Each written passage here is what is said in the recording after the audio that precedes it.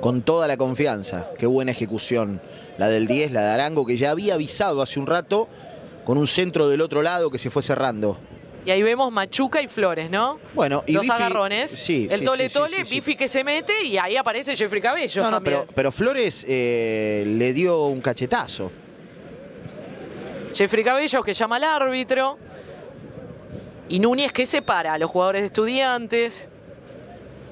Yo vi un banotazo de, de Flores sobre la cara de Machuca. Se caldearon los ánimos, Juanpi. A ver, mirá, ahí está. Ahí lo saca, Flores lo habla, se suma Bifi entre los dos.